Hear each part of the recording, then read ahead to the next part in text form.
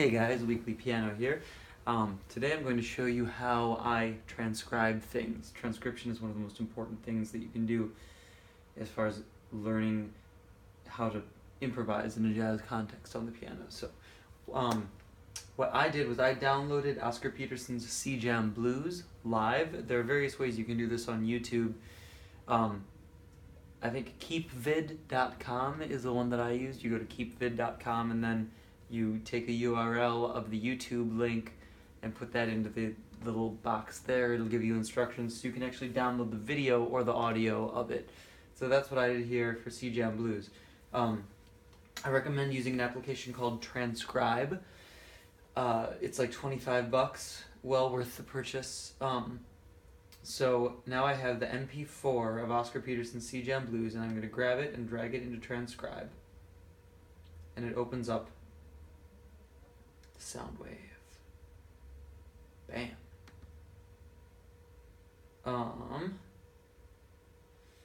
now I'm going to expand this to take up the full screen. Um, I've got it plugged into my speakers here. I've got a little sound system hooked up. You can just do it through headphones if you want. It's all the same as long as you can hear this and you can hear the piano that you're working on. So uh, check this out. This is the beginning of the track. And you just kind of wait until you hear the point where you want to start transcribing. You can see the sound wave here, it's going. So that's where I want to start. So see the sound wave bubbles up there when it's louder, so I go somewhere right before that. Okay, that's where I'm starting. You use hit the space bar to stop and the space bar to play again from wherever you clicked on the sound wave. So click with the mouse on the point where you want to start transcribing from and then spacebar starts and spacebar stops and then starts again from the same location.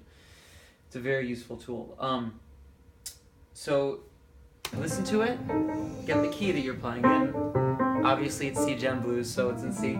Um, and now the way that I begin transcribing this, if I can, I do it at full speed. If you can't, you click the 50% button here, and it'll slow it down half as much. And it makes it easier.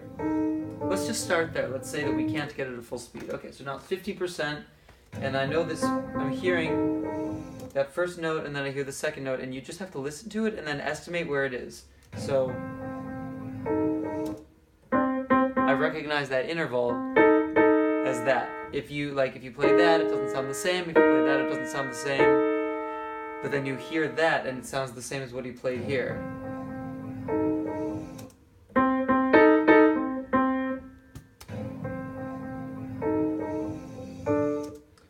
And then so you stop and then play a little further and then and then try to play it and mimic it. And if it sounds if it's if you figure out what it is the same, then you move on and you go a little further. Sometimes I'll like pretend I'm playing on the piano but still listening to that so that I can get the fingers in my muscle the fingering in my muscle memory and then actually play it.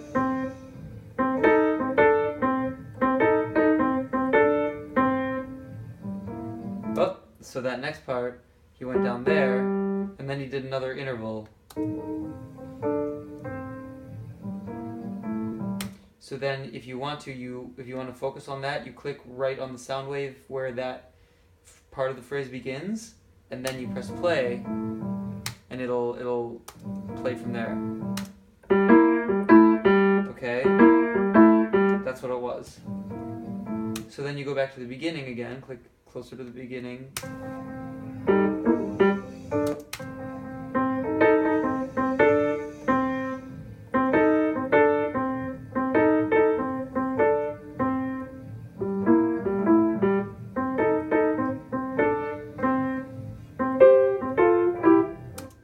Obviously, I've listened to this before, so I kind of know what's coming up. But that, but that's how you do it. So this next part.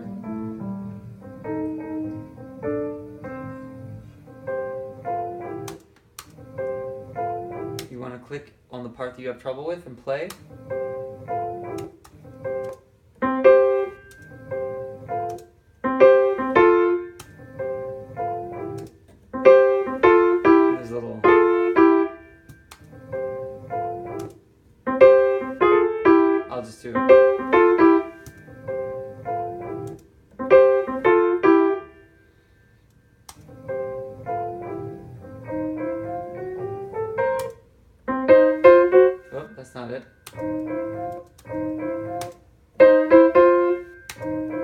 That's it.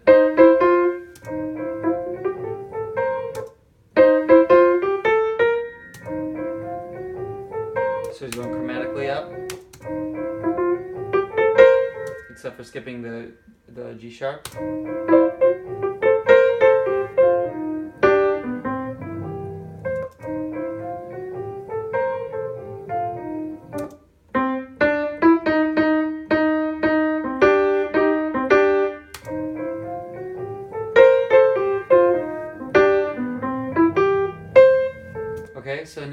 Once you get that, go back to the beginning, or you can go back in increments. So, like. So.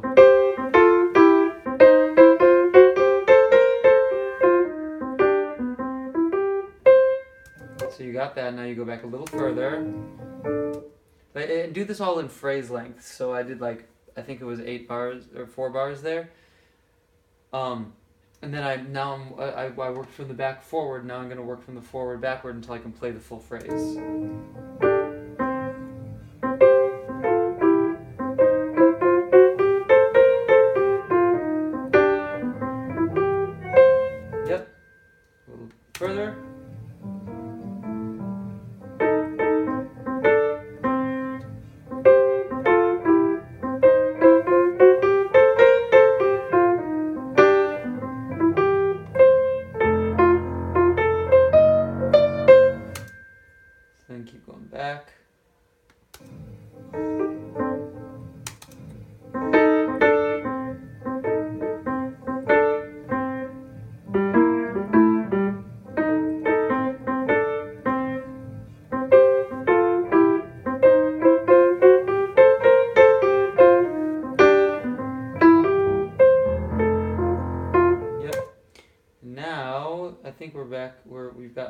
Enough to go to the beginning.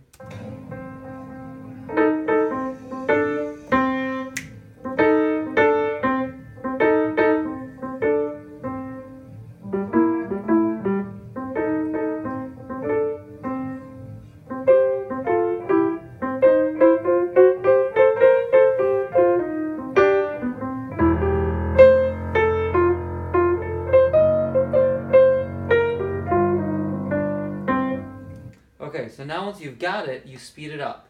So I did like a four bar phrase or whatever. It was at 50%. There's this little like slow walking guy to running guy. If you move that little knob up to 60, now it's a little faster.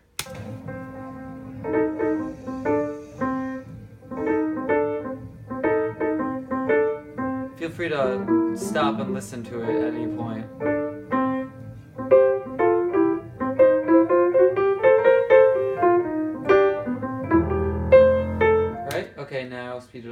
10%, um, to 71%.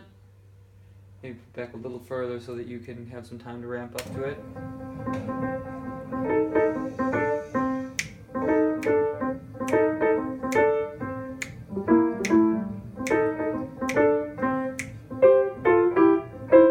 Whoops. Alright, I missed that, so let's go back to it.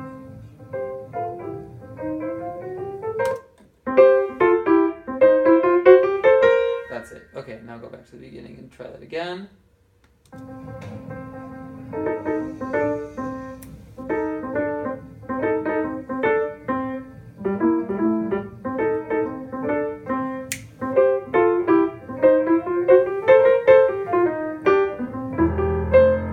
Yep. Okay. Now speed it up again, 10%.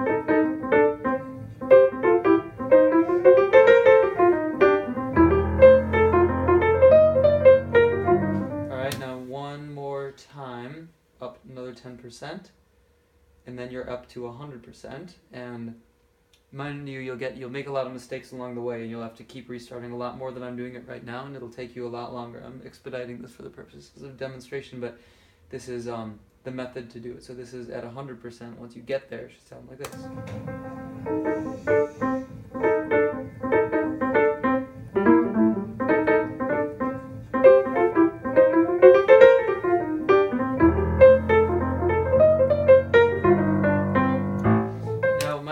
The feel is very, very important. So you'll get it to 100%, but the feel won't be great. And when you listen to Oscar play it, you hear his swing feels very, very consistent. And you really have to like embody that in your playing. So keep going through it until you feel like you get that.